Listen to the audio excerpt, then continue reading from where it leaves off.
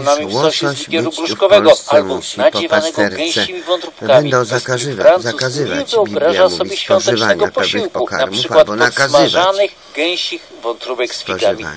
A do ale tego słucha się piosenek jak ta w wykonaniu. Geru o małym chłopcu czekającym na gwiazdkę. Wesołych świąt, Paryż Marek Brzeziński, Polskie Radio. Ważnym elementem świąt Bożego Narodzenia kolędowanie należy rozpocząć od Wigilii i można śpiewać do 2 lutego, do święta Matki Boskiej Gromnicznej. W polskich domach dominuje jednak bierne odsłuchiwanie kolęd z telewizji, płyt CD, radia czy internetu. Była minister kultury, dyrektor Narodowej Orkiestry Symfonicznej Polskiego Radia Joanna Wnuk-Nazarowa zachęca do wspólnego, rodzinnego śpiewania nie tylko kolęd, ale też pastorałek. Śpiewanie tych kilkunastu kolęd najsławniejszych to jest pielęgnowanie tradycji polskiej wspaniałej. Przeważnie mają one też głęboki sens liturgiczny. A z kolei śpiewanie tych pastorałek polskich, śmiesznych, gdzie tam Kuba z Maćkiem biegną do małego Jezuska, nosząc mu a to garnek miodu, a tam gruszki za pazuchą i tak dalej, to znowu jest pielęgnowanie wspomnienia o dawnej obyczajowości, która zanika przecież też i na wsiach. Także jest głęboki sens, żeby to kontinuum naszej obrzędowości polskiej od zamierzchłych wieków, żeby do dzisiaj trwało. Najdawniejsze kolendy, które znamy, pochodzą z wieku XV, a najpopularniejsza z nich to kolenda Anioł pasterzom mówił. Kolejne wieki przyniosły nowe kolendy, a największy ich rozkwit datuje się na wiek XVII i XVIII. Wówczas powstały znane do dziś kolendy jak Wśród nocnej ciszy, Lulejże Jezuniu, Bóg się rodzi i inne. Najsłynniejszą zaś kolendą jest Cicha Noc, którą przetłumaczono na ponad 300 języków i dialektów. Prognoza pogody. Nocy zachmurzenie duże, okresami opady deszczu, a we wschodniej połowie kraju także deszczu ze śniegiem. Wysoko w górach śnieg.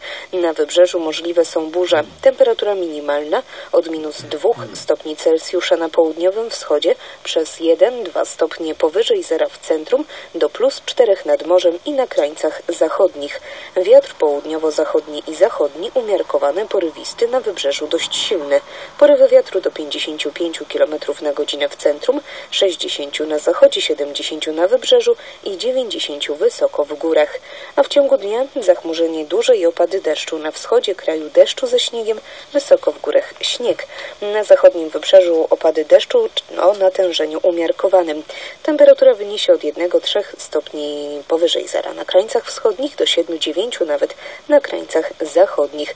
Wiatr umiarkowany, porywisty na wybrzeżu dość silny i porywisty południowo-zachodni oraz zachodni. Polskie Radio 24. Słowem wszystko. Pięć i pół minuty po drugiej. Święta Bożego Narodzenia to czas, kiedy na naszych stołach królują tradycyjne, odświętne potrawy.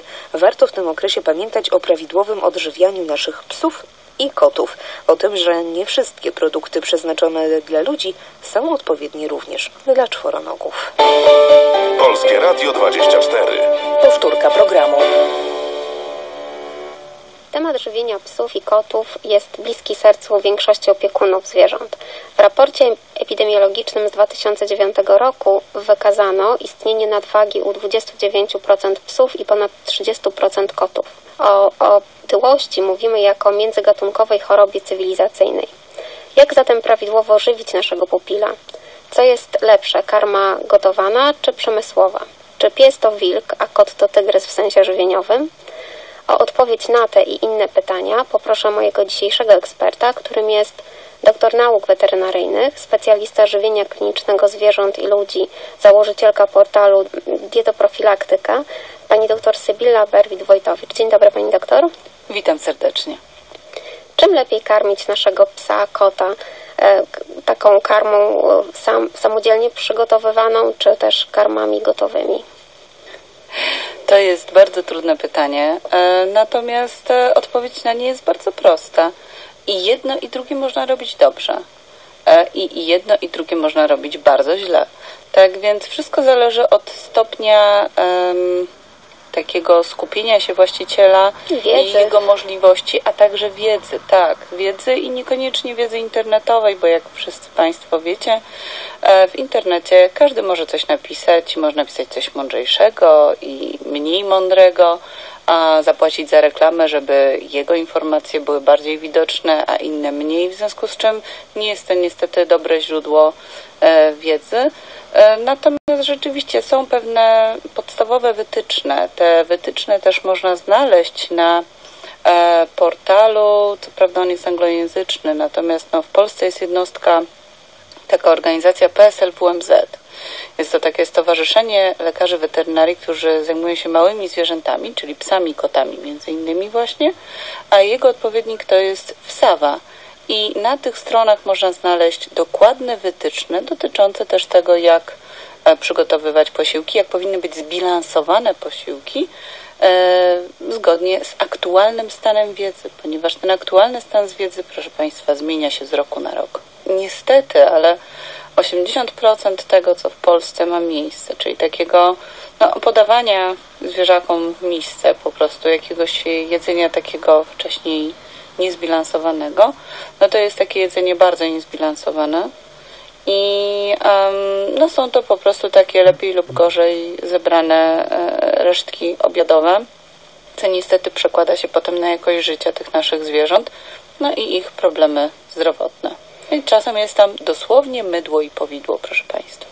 No tutaj problem jest później z przyswajaniem tych składników, prawda? I, Czy z czasem tak, tak. To, to z, ci tacy, którzy naprawdę się tak strasznie poświęcają, to są e, pojedyncze przypadki, które czasami opisując tę swoją historię i stając się takimi bohateriami dnia codziennego, no, rzeczywiście w internecie potrafią pokazywać, jak ja to cudownie domowo karmię mojego zwierzaka. Natomiast niestety szara rzeczywistość jest taka, że w większości przypadków to jedzenie jest po prostu bardzo niezbilansowane, bardzo e, brakuje w nich albo jest nadmiar różnych składników, co przeważnie w pierwszych czterech latach życia, no to ktoś musi bardzo postarać, żeby pojawiły się problemy zdrowotne w pierwszych czterech latach życia zdrowego zwierzaka, ale jak się zaczyna pojawiać między czwartym a szóstym rokiem życia, przecież epidemia e, problemów z wątrobą, trzustką, które obserwujemy w lecznicach weterynaryjnych e, ze skórą, nie bierze się znikąd. Ona się bierze właśnie z długofalowych niedoborów albo nadmiarów różnych składników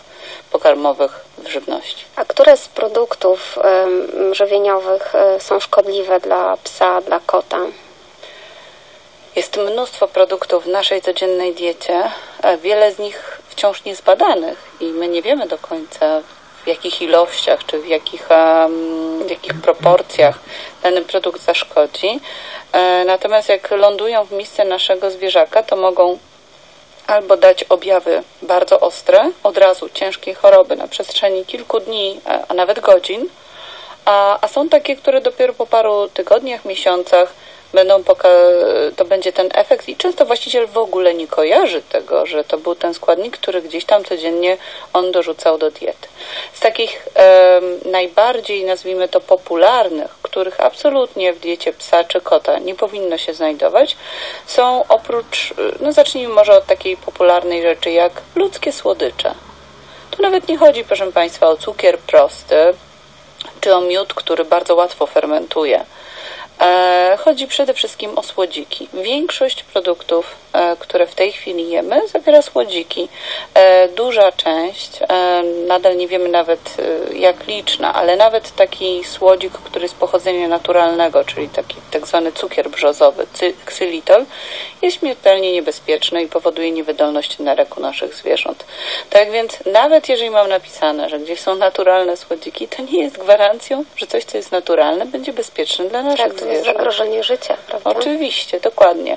E, Kolejnym takim elementem, który wydaje się, mm, znaczy wydaje się, jest bardzo zdrowy, polecany, ma wiele substancji także przeciwnowotworowych, są oczywiście winogrona, no a także ich pochodne, rodzynki. E, niestety wiemy od mniej więcej końca lat 80. i tak jest wprowadzony monitoring, że są one szkodliwe i powodują niewydolność nerek. Nie u każdego zwierzaka, to prawda, ponieważ nie mamy możliwości przeprowadzenia takich rozległych badań, po prostu nie mamy możliwości truć zwierzęta i patrzeć, po jakim czasie zaczną pokazywać objawy tego zatrucia i po jakich winogronach i rodzynkach, ale jeżeli dane ze Stanów mówią, że na e, całą pulę zgłoszeń około połowa zwierząt rozwija objawy niewydolności nerek, a jedna ósma z tych zwierząt umiera, to mimo wszystko ja bym jednak nie rekomendowała podawania w żadnych ilościach i żadnej części, bo nie wiadomo tak naprawdę, czy z tych rodzynek i winogron e, to działa e, skórka, e, pestki czy miąższ. Do tej pory tego nie ustalono, ponieważ doniesienia dotyczą o toksyczności, mhm. dotyczą różnych, różnych rzeczy, różnych preparatów. E, oczywiście czekolada jest taką rzeczą e, powszechnie znaną, że szkodzi naszym zwierzętom, a mimo to ja się stykam, jak od 15 lat zajmuję się e, dietą, mm, zwierząt domowych, stykam się zawsze z kimś, kto w gronie podniesie rękę i powie, a ja daję mojemu psu czekoladę. E, I w takich sytuacjach mogę powiedzieć tylko jedno. Często ratuje te zwierzęta to, że jest tam znikoma ilość prawdziwego kakao i są to produkty czekoladopodobne raczej niż prawdziwa czekolada. Naprawdę, proszę Państwa, nieznaczne ilości prawdziwej czekolady po prostu są dla naszych zwierząt bardzo, bardzo szkodliwe. I w przypadku czekolady też warto zwrócić uwagę, że mamy ten efekt kumulacyjny. Czy jeżeli ktoś podaje małe ilości Systematycznie. systematycznie, dokładnie, to to się kumuluje w psiej wątrobie, bo ona po prostu nie wychodzi poza, tam jest martwa pętla, ona nie wychodzi po prostu te metabolity czeko, e, substancji zawartej w czekoladzie e, po prostu zostają w organizmie tego naszego psa i go po prostu Trują. zatruwają w coraz większej ilości. Polskie Radio 24. Powtórka programu. Marcin Pośpiech, kłaniam się i zapraszam na specjalne wydanie programu Gorąca Planeta. Wydanie, w którym podsumujemy najważniejsze światowe wydarzenia ostatnich 12 miesięcy. Zaczynamy.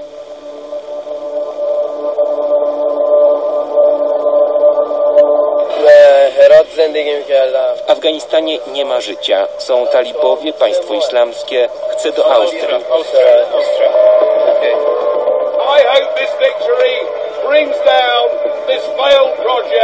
Mam nadzieję, że to zwycięstwo obali unijny nieudany projekt. Mam nadzieję, że powstanie Europa suwerennych państw, handlujących razem, będących przyjaciółmi, współpracujących. A teraz pozbądźmy się tej flagi, hymnu i całej tej Brukseli i tego wszystkiego, co poszło tak źle.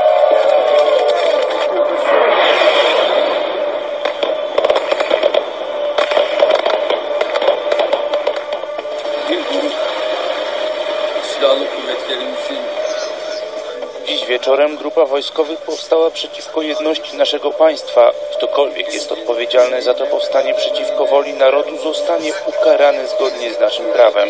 Oni muszą to wiedzieć. Kuba nie do końca jest przygotowana na odejście Fidela. Wielu Kubańczyków określało go jako ojca narodu. don't believe anymore in. Już nie wierzę w ONZ ani inne instytucje międzynarodowe. Oni się cieszą, że my tu jesteśmy zabijani, że musimy zmagać się z najstraszniejszą masakrą we współczesnym świecie. Rosjanie nie chcą nas stąd wypuścić. Oni chcą nas zabić. Podobnie jak Assad. Walczy się z bombami lotniczymi, których codziennie na dobę spada na miasto z 200. Nie walczy się z bombami kasetowymi, z bombami z białym fosforem. Nie walczy się z pociskami artyleryjskimi.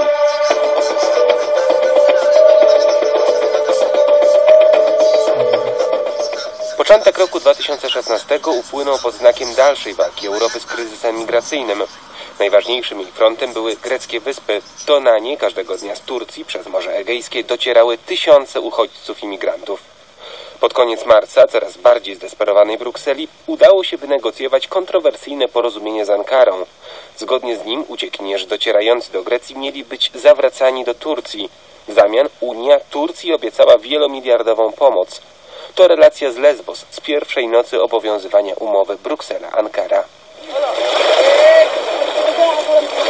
Kolejny dzień i ten sam powtarzający się od wielu miesięcy jak w kołowrotku scenariusz. Plaża na Lesbos.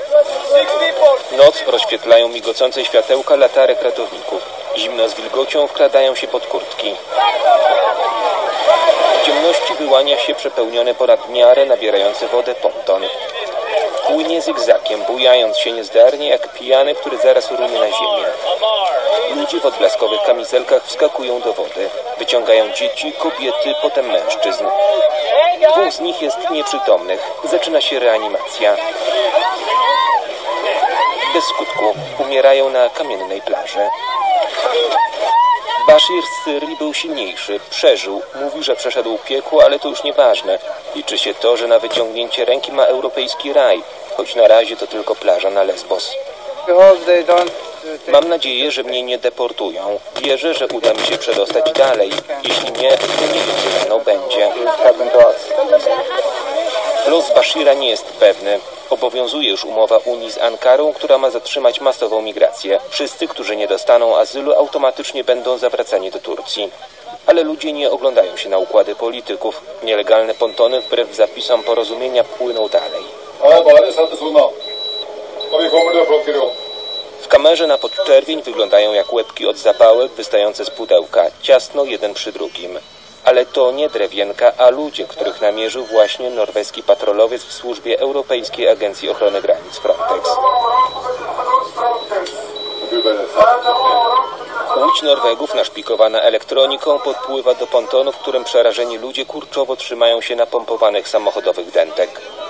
Oświetleni szperaczem widzą, że ratunek jest blisko. Nikt nie chce czekać, każdy chce być pierwszy. Panika wisi w powietrzu. Kapitan norweskiego patrolowca Brian Scott nas wkracza do akcji. Don't take off the clothes. Sit in the boat. Don't take it off. Leave it on. See this rubber boat? Yes. It's the poorest quality that you can get. Okay. Widzisz tę gumową łódź? Jest najgorszej jakości, jaką możesz dostać. And the people on board? A ludzie na pokładzie? Większość z nich? Nikt z nich nie umie pływać. Nobody can swim. And the, and the life vest, the boat A kamizelki ratunkowe, które kupili w Turcji, w ogóle nie działają. Wpływamy do portu. Uchodźcy wysiadają, kapitan liczy. It was 18 children, 16 women. Było 18 dzieci, 16 kobiet i 19 mężczyzn. To pierwszy od dłuższego czasu dzień, kiedy było więcej mężczyzn niż kobiet. Norweska łódź odpływa. Migranci wsiadają do autobusów i jadą do największego obozu uchodźców na Lesbos, Moria. Jeśli są Syryjczykami lub Irakijczykami, najpewniej trafią do części oficjalnej stworzonej przez rząd i UNHCR. Jeśli Afgańczykami, Pakistańczykami czy Irańczykami, do części nieoficjalnej prowadzonej przez wolontariuszy. Skąd taki podział? Szanse tych drugich na azyl są nikłe. Uznano, że pochodzą z bezpiecznego kraju. Po obozie oprowadza mnie wolontariusz z Holandii o polskich korzeniach Stanisław Wąsowicz. Jestem obok namiotu, ubrania są rozrywane. Dzisiaj była taka e, wzruszająca sytuacja, że nagle moja dziewczyna, która tu ze mną zjechała, widzi dwóch e, chłopaków, e, powiedzieli, że mają około 23 lata, co dla nas było dziwne. Pytamy się, nie wiecie kiedy byliście urodzeni? Wiedzieli dzień, ale nie wiedzieli roku. Bo już tak długo tam w Afganistanie, skąd oni pochodzili, jest wojna, że po prostu rok nie był zupełnie pewny. Idziemy dalej. Idziemy dalej. Te namioty tutaj to sami ludzie zabrali. Tutaj na ogół są sami mężczyźni. Aha, czemu? E, bo ta, to jeszcze jest ta kultura taka, że na ogół kobiety, rodziny nie śpią razem z mężczyzn, e, Mężczyznami. Wejdzie. Dobra, jesteśmy w kuchni. Teraz jest spokojnie, jak pan widzi, ale można sobie wyobrazić, że w ciągu 3 godzin tutaj ponad 1000, ponad 1500 obiadów robimy około 3 razy dziennie. Wszystkie osoby, które tam pan teraz tutaj widzi, to są tutaj e, volunteers. Wolontariusze.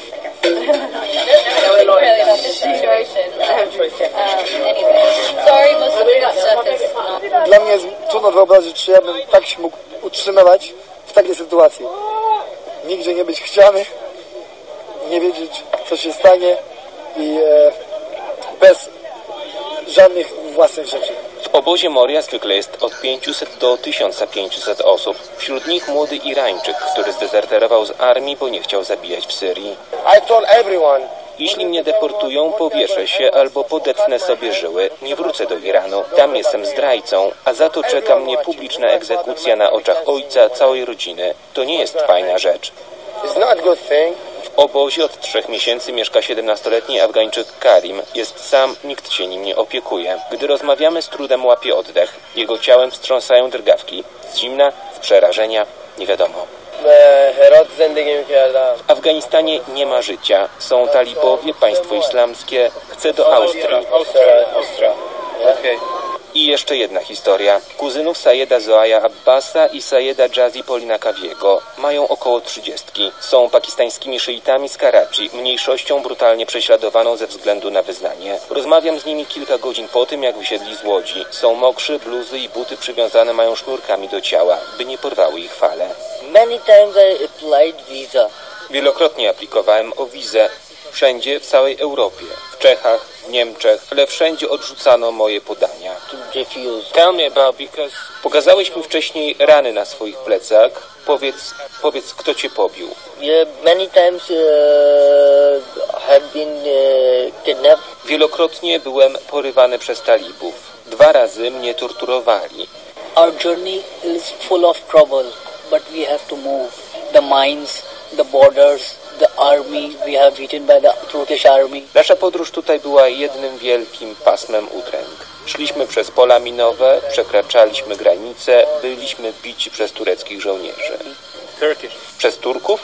Turkish army, they beat us for eight hours. Eight hours they beat it very badly to us with the rods and kicks and everywhere like see. Bili nas przez 8 godzin. Aresztowali nas i zaczęli bić. W końcu powiedziałem, przestańcie, po prostu nas rozstrzelajcie. Żołnierz wymierzył we mnie broń. Trzymał ją tak przez chwilę, ale nie strzelił. Powiedział, niestety nie mogę cię zabić. Wracajcie skąd przyszliście. Ale my znowu wróciliśmy, znowu spróbowaliśmy. Go back. Go back and come again. Od wysp po północne regiony kraju w Grecji jest obecnie ponad 47 tysięcy osób próbujących przedostać się dalej do północnej Europy. 47 tysięcy historii. Migrację udało się ograniczyć. W lutym do Grecji przedostało się 55 tysięcy osób. W sierpniu ich liczba spadła do około 3,5 tysiąca. Polskie Radio 24. Ale opanowanie kryzysu migracyjnego nie było jedynym wyzwaniem, przed jakim stanęła Europa w 2016 roku.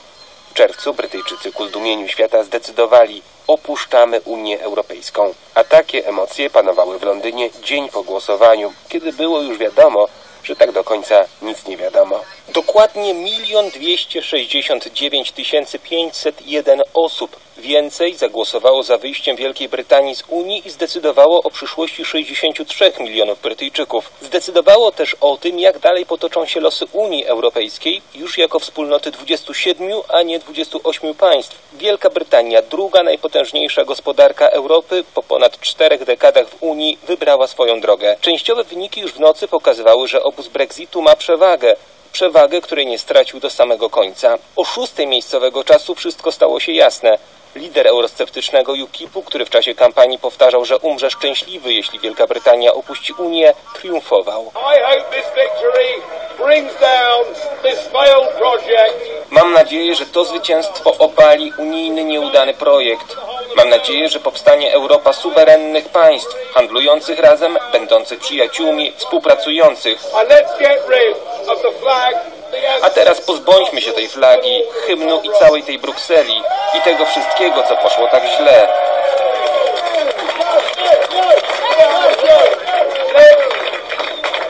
Let June the 23rd go down in our history as our Independence Day. Niech 23 czerwca przejdzie do historii jako Dzień Niepodległości.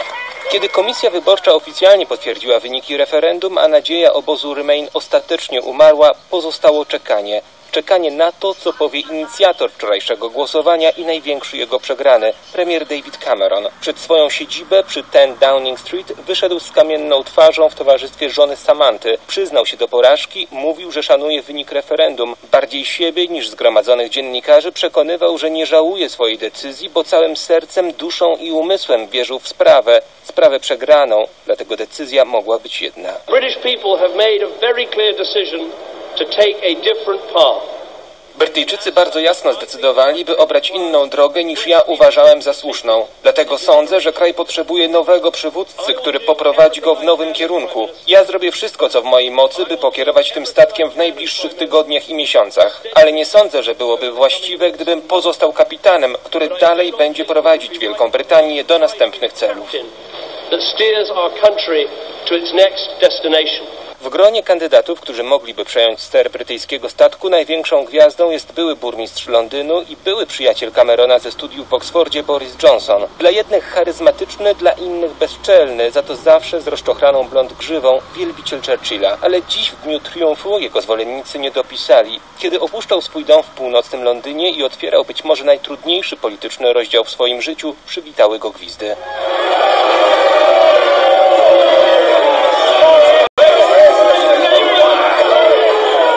Konferencji prasowej Johnson bardziej niż zwycięzcę przypominał kogoś przygniecionego ciężarem niespodziewanej odpowiedzialności. Mówił ciszej i mniej pewnie niż do tego przyzwyczaił. Zaczął od laurki wystawionej Cameronowi, określając go najwspanialszym politykiem naszych czasów. W drugiej kolejności uspokajał. I want to reassure everybody that in my view,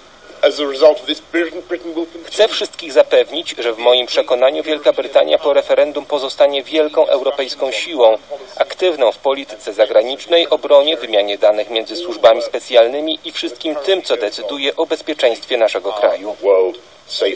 Ale w wielkiej pobrexitowej Brytanii już pojawiły się rysy. Większość Szkotów nie wyobraża sobie wyjścia z Unii Europejskiej. 62% z nich opowiedziało się za wspólnotą. Pierwsza szkocka minister, Nicola Sturgeon, już zapowiedziała przygotowanie przepisów pozwalających na rozpisanie drugiego referendum w sprawie niepodległości.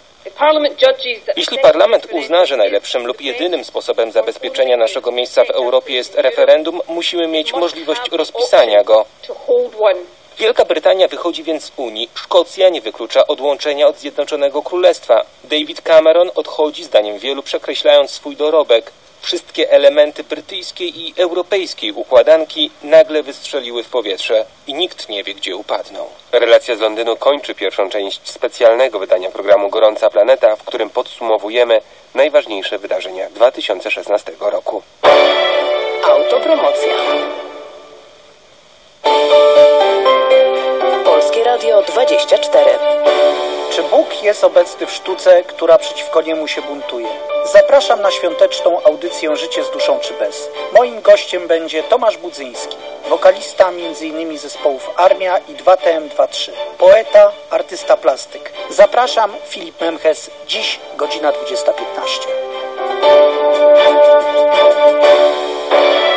Autopromocja. Jest w pół do trzeciej. Informacje dnia w skrócie. Paulina Łukawska, zapraszam. Niepokoi nas scena polityczna w naszej ojczyźnie, mówił w kazaniu w czasie pasterki w katedrze na Wawelu kardynał Stanisław Dziwisz. Przechodzący na emeryturę metropolita krakowski w czasie pierwszej uroczystej mszy w Boże Narodzenie zwracał uwagę na spór i konflikt polityczny trwający w Polsce.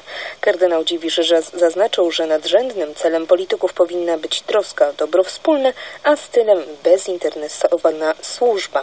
Hierarcha składał także życzenia politykom wszystkich opcji. Życzymy im prawdziwej mądrości, by swe zadania spełniali w duchu służby, przedkładając dobro człowieka i narodu nad wszystkie inne racje. Zwracam się.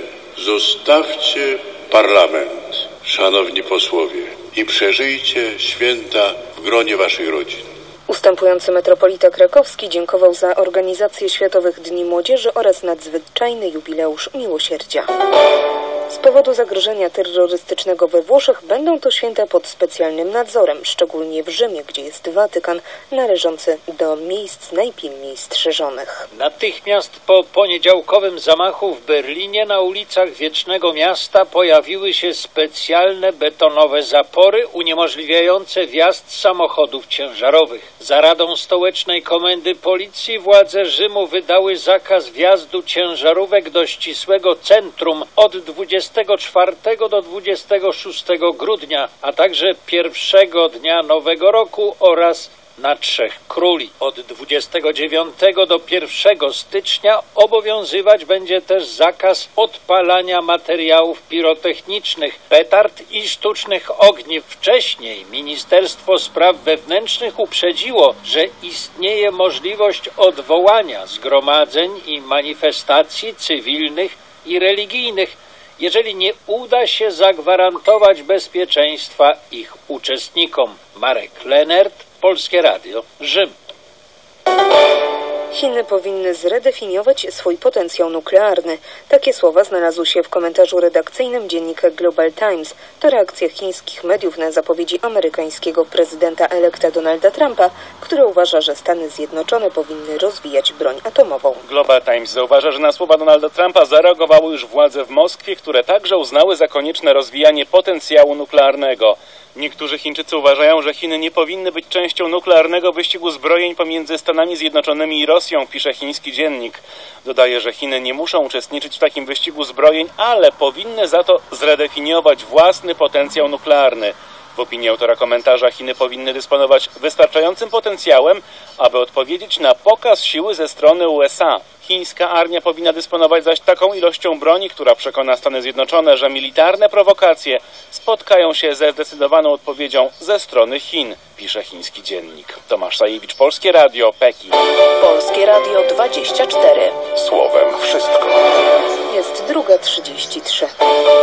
Polskie Radio 24. Powtórka programu.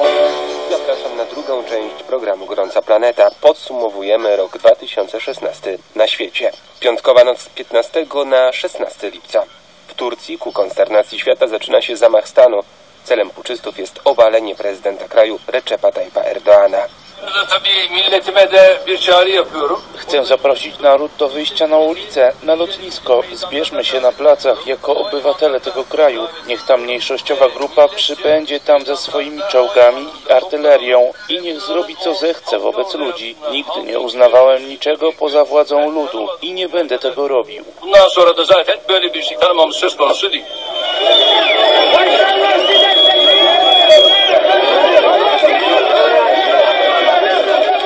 Oświadczenie autorów zamachu stanu odczytane w tureckiej telewizji publicznej.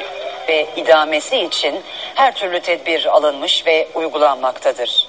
Wszelkiego rodzaju działania zostały podjęte i wprowadzone. Nie dopuścimy, by jakiemukolwiek obywatelowi stała się krzywda. Nie pozwolimy, by porządek w państwie został zakłócony. Rada Pokojowa zapewni przygotowanie konstytucji tak szybko, jak to możliwe. Dokument obejmie wszystkie części społeczeństwa bez jakiejkolwiek dyskryminacji ze względu na religię, język czy rasę. Rada Pokojowa podejmie wszelkie środki, by ustanowić świecki, demokratyczny i konstytucyjny porządek. Köprüsü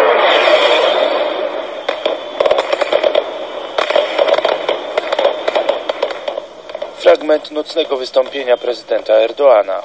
Bir grup silahlı kuvvetlerimizin Dziś wieczorem grupa wojskowych powstała przeciwko jedności naszego państwa. Ktokolwiek jest odpowiedzialny za to powstanie przeciwko woli narodu zostanie ukarany zgodnie z naszym prawem. Oni muszą to wiedzieć. Nie ma takiej siły, która byłaby ponad wolą narodu. Jako prezydent tego kraju mogę powiedzieć, że członkowie partii, której jestem założycielem, będą stali ramię w ramię z narodem na ulicach i placach miast i ukarzą tych, którzy ponoszą odpowiedzialność. Tylko 45 milionów naszych wyborców może decydować o tym kraju. Jak już powiedział pan premier, to nie są ich czołgi, one są państwowe. Wiemy, jak ich powstrzymać. Nie boimy się ich.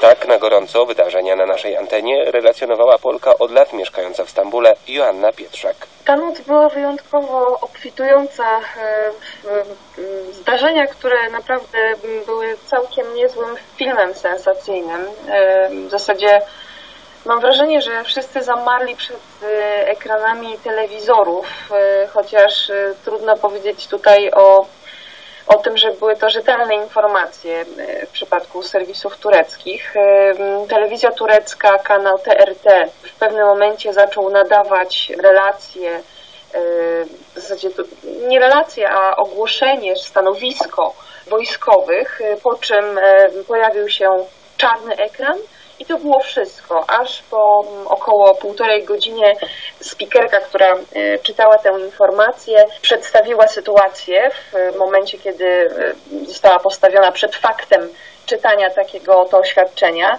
Wtedy zaznaczyła, że do telewizji publicznej, do budynku telewizji publicznej wpadli wojskowi pod pretekstem puczu czy też przewrotu wojskowego. Nakazano przekazać e, właśnie stanowisko wojskowych o tym, że będą e, wprowadzane nowe zmiany, będą wprowadzane zmiany, będą, będzie nowa konstytucja. Myślę, że też e, w Polsce takie informacje wtedy były przekazywane. Po czym Telewizja Fox z kolei. Słuchałam też radia, oglą- oglądałam telewizję. No, na tyle, ile można było tutaj e, te informacje uzyskać. E, W zasadzie to były takie strzępki informacji, bo media, które tutaj e, aktualnie funkcjonują, to są raczej takie media sprzyjające aktualnej władzy. Więc po pewnym czasie też kanał BBC, CNN International też przestały być dostępne.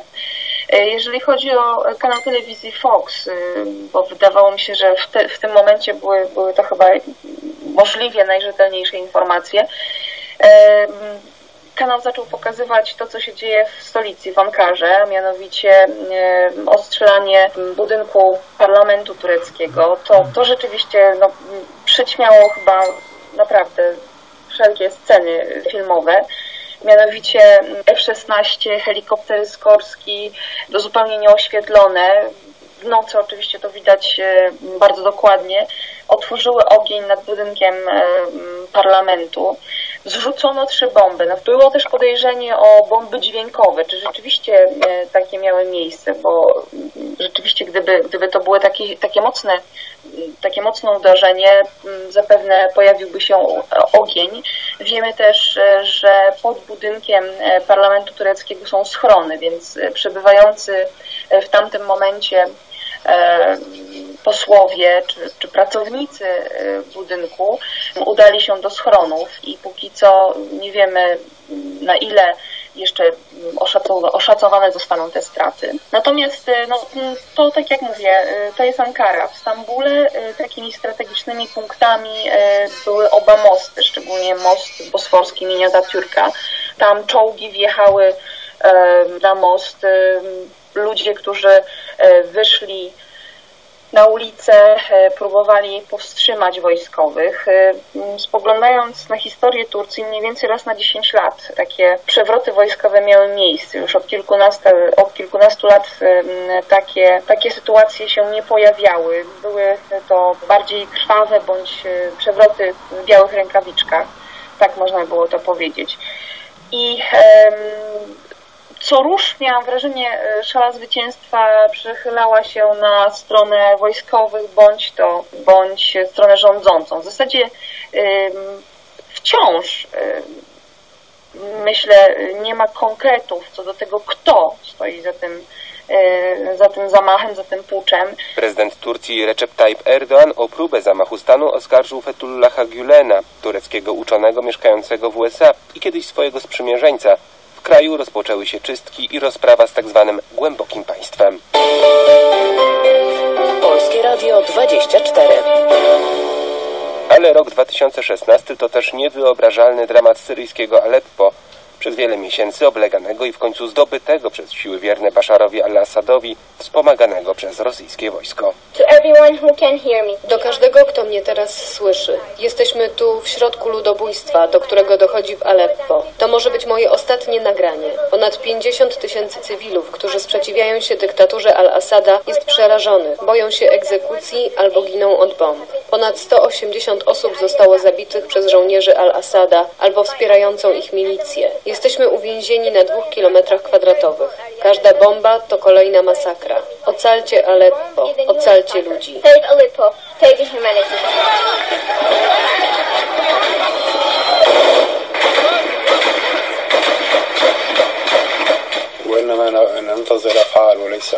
Czekamy na działania, nie na słowa, bo dzieci w Aleppo czekają na ratunek. Brita Hadzi Hassan burmistrz wschodniej części syryjskiego Aleppo. Potrzebujemy mobilizacji całej społeczności międzynarodowej, którą ogarnęła niemoc. Tej tragicznej sytuacji nie sposób opisać.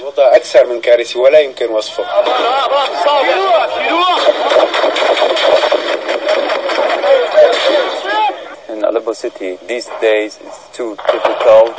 Uh, there's no Dziś życie w Aleppo jest bardzo trudne. Ludziom brakuje podstawowych rzeczy. Trwają bombardowania. Rosjanie i reżim deklarują wstrzymanie ognia, by móc ewakuować miasto, ale jak na razie tak się nie stało. W mieście brakuje wody i prądu.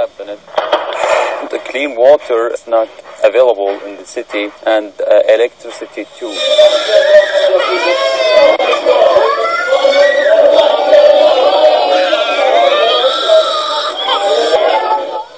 don't believe anymore. Już nie wierzę w ONZ ani inne instytucje międzynarodowe. Oni się cieszą, że my tu jesteśmy zabijani, że musimy zmagać się z najstraszniejszą masakrą we współczesnym świecie. Rosjanie nie chcą nas stąd wypuścić, oni chcą nas zabić, podobnie jak Assad. Doesn't want us to go out alive. They want us dead.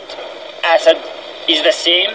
We were free people. Byliśmy wolnymi ludźmi, pragniemy wolności, niczego więcej, ale ten świat nie lubi wolności. A tak o życiu i śmierci w Aleppo na naszej antenie opowiadał reporter, pracownik organizacji pomocowych, autor filmu Aleppo Notatki z ciemności Michał Przydlacki. Nie walczy się z bombami lotniczymi, których codziennie na dobę spada na miasto z 200. Nie walczy się z e, bombami kasetowymi, z bombami z białym fosforem, nie walczy się z pociskami artyleryjskimi. Cywile nie walczą. To, czego domaga się reżim Bashara al-Assada, powiedzmy to sobie wprost, no to jest reżim ludobójczy. W ogóle dziwi mnie to, że my próbujemy z tymi ludobójcami rozmawiać, bo z ludobójcami się nie rozmawia. Ludobójców się rozlicza za to, co robią. I, i ten reżim Bashara al-Assada domaga się kapitulacji.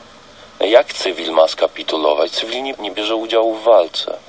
To, że reżim Bashara al-Assada stara się utrzymać u władzy za wszelką cenę, oznacza, że reżim Bashara al-Assada i Rosja są gotowe i równają w chwili obecnej to miasto z ziemią. Dlaczego Aleppo jest tak ważne? Dlaczego jest tak cennym miastem? Bo każde miasto w Syrii jest ważne dla Asada, bo było przed e, wojną centrum e, syryjskiego przemysłu, bo było największym miastem syryjskim, chociażby dlatego.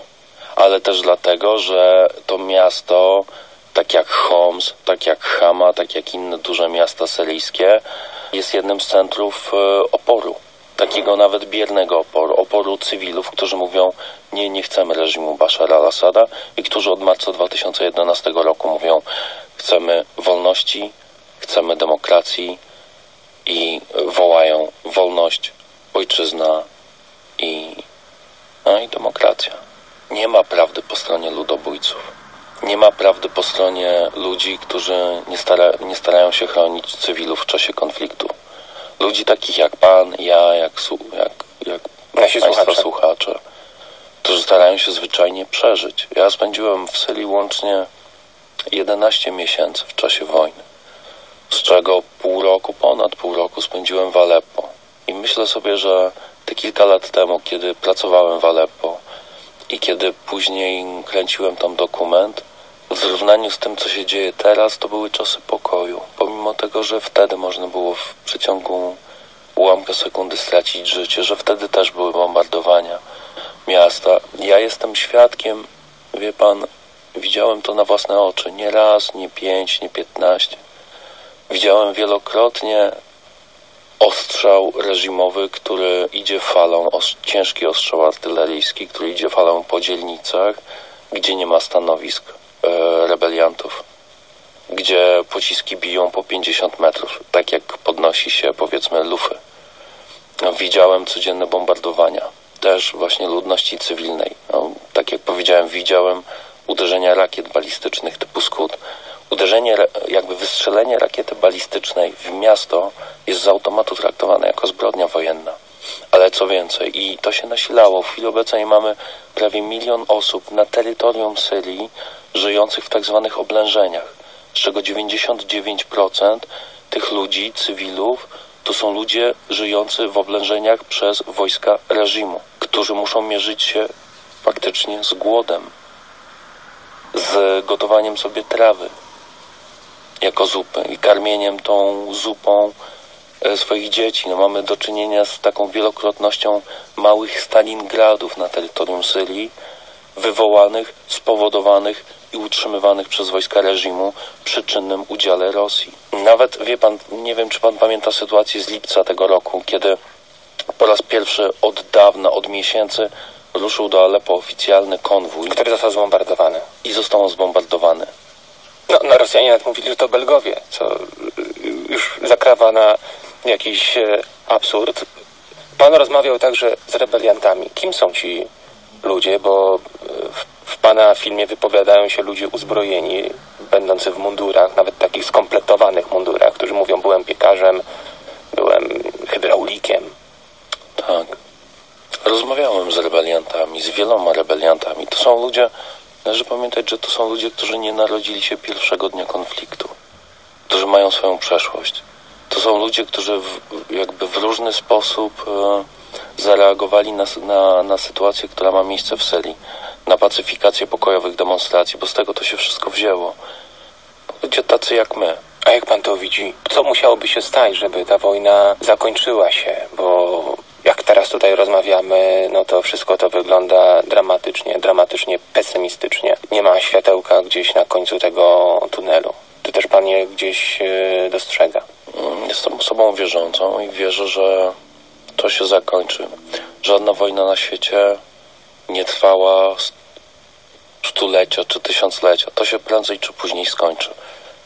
Nie wiem, czy będziemy w stanie zobaczyć w Syrii jeden ocalały budynek, znaczy, że Syrii nie będzie można odbudować. A może Syria się rozpadnie?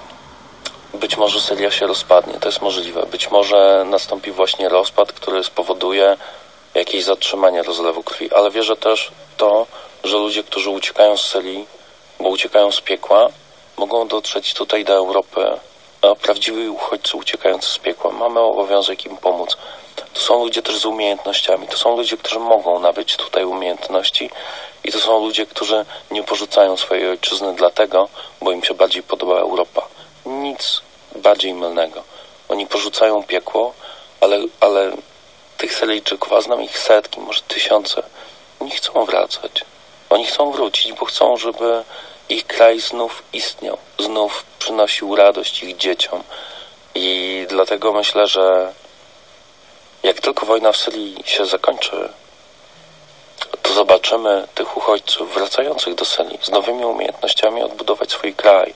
I wierzę też w to, że wtedy przyjdzie czas rozliczenia winnych, postawienia ich przed trybunałami osób pokroju Bashara al-Assada i jego świty, mm, występków rebeliantów również. Tylko, że tutaj nie da się tego zrównać, bo z jednej strony mamy ludobójstwo zamierzone, czynione każdego dnia, z drugiej strony mamy zbrodnie wojenne, które się zdarzają, bo niestety na wojnie zbrodnie wojenne się zdarzają. Tak jeszcze przed zdobyciem Aleppo mówił reporter, filmowiec, pracownik organizacji pomocowych Michał Przedlacki.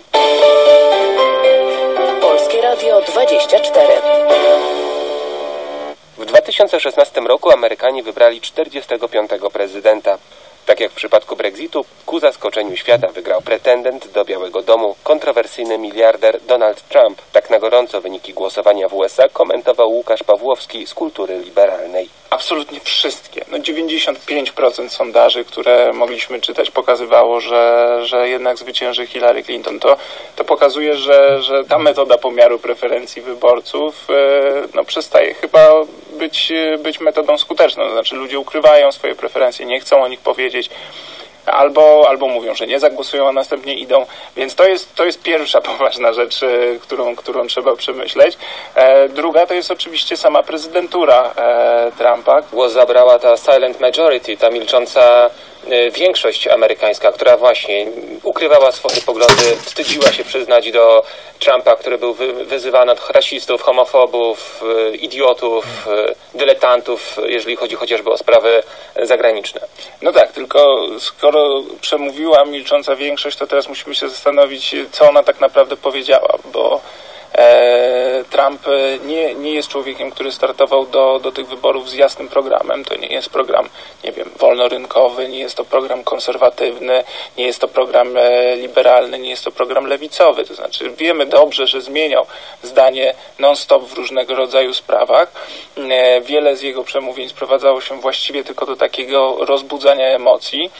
Więc nie bardzo wiadomo, co powiedziała ta, ta, ta milcząca większość, o, o, której, o której Pan wspomniał. To znaczy, jeżeli...